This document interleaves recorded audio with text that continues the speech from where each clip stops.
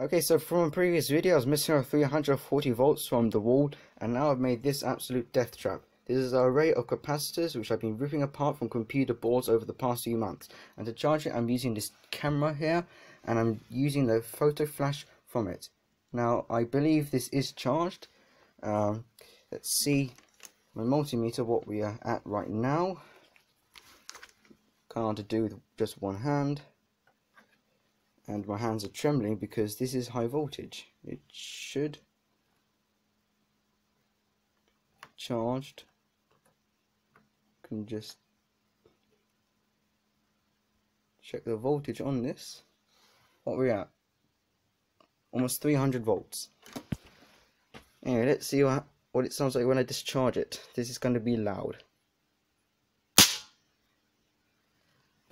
My ears are ringing.